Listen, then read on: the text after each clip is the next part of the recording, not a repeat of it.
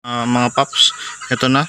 Ah, titignan na natin yung UMA na spark plug tsaka kung ano yung sunog niya mga paps. So baklasin ko lang to at atin ang tignan.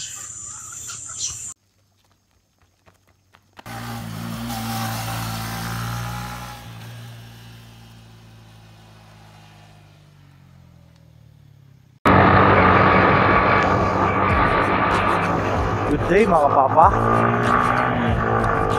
Okay. Tayo ngayon mga paps. Ah, ah, ah, ayun. Ah, itong vlog na to, itong tungkol dun sa UMA spark plug tsaka UMA ignition coil.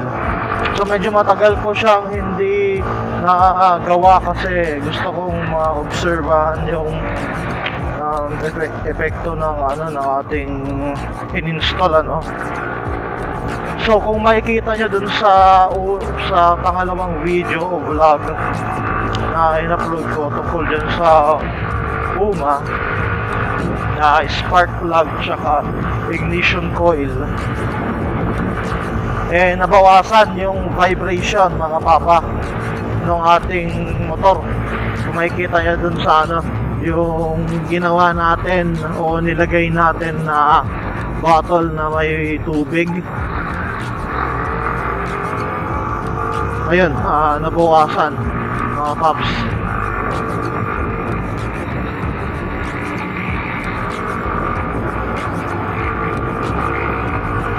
Pero, ah, nakadagdag kaya yun sa performance ng ating motor?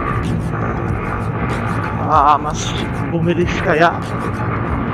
O mas gumanda kaya yung sunog ng ating ng gas. Kasi napakaganda ng sunog nung ano nung spark plug natin. Kung makikita nyo dun sa ah, huli nating vlog talagang brown siya mga paps. At ibig sabihin ng brown ay napakagandang sunog. Pero syempre hindi lang yun dahil sa spark plug o hindi lang dahil maganda yung pagkatono ng ating motor mga paps. Kundi dahil din dun sa pinapasok mo na gasolina ng motor.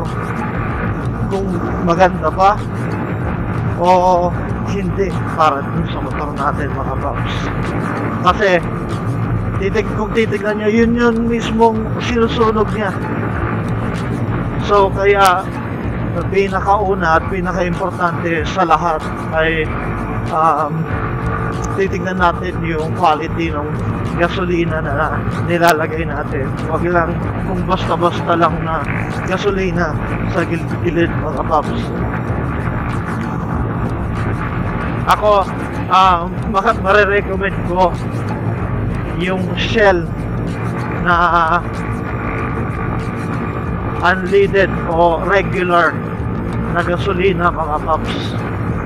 Yun palagi halos yung nilalagay ko na gasolina sa motor ko.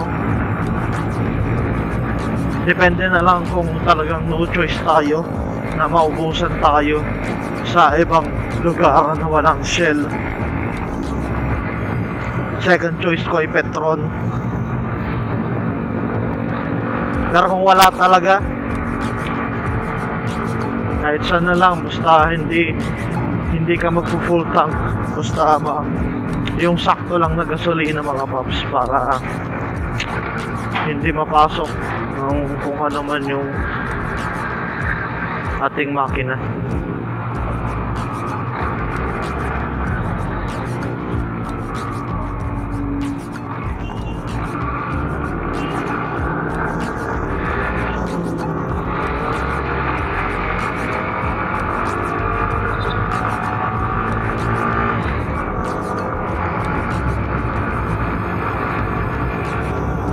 Tayong busina.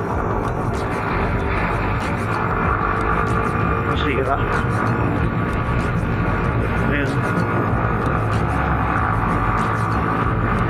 So, ipapakita ko sa inyo yung um, sunog ng uma na spark plug mga paps.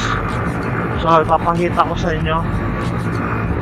Siguro sa holiday, dahil wala naman tayo masyadong gagawin, bubuksan natin yung ating uh, motor. Hindi lang bubuksan kung ilalabas lang yung spark plug para makita natin yung sunog.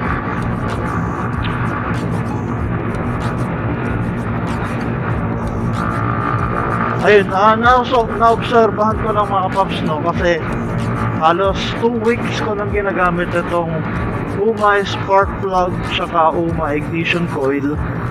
Pang daily kasi yun yung binili ko. Eh, oh, ah, totoo nga, nabawasan yung ating vibration dun sa makina. Pero parang mas bumagal siya, mga paps. Hindi ko lang bakit. Mas bumagal siya, mga paps, dun sa arangkada. Ayan, kung makikita nyo nga, ah, napakaswabe niya. Hindi katulad dun sa stock mga paps na parang merong ano eh, merong talagang mali. Malakas yung vibration. Ibig sabihin nun, merong, merong hindi tumutugma dun sa timing nung pagkasunog tsaka pagbalik ng piston mga paps. Kaya meron siyang vibration.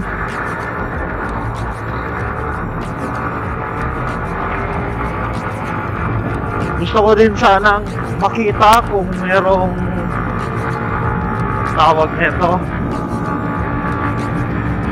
fire ah backfire yung ating makina sa pamamagitan ng pagpalit ng open pipe para malakas yung backfire kasi pagka stuck na kabunsya mga paps halos hindi masyadong marinig kung meron man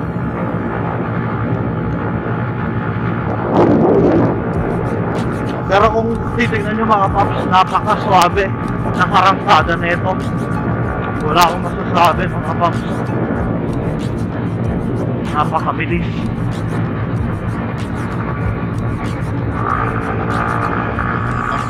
Ito na. Ah, titignan na natin yung Uma na spark plug tsaka kung ano yung sunog niya mga paps. So baklasin ko lang to. At atin nang tignan. Ito yung sunog ng ating spark plug mga papa. Itim na itim. So hindi siya ganun kaganda comparing dun sa spark plug natin na stock na kulay brown. Nakakaasar kasi mahal-mahal pa naman nito. Pero tignan natin mga paps baka sa susunod brown na siya.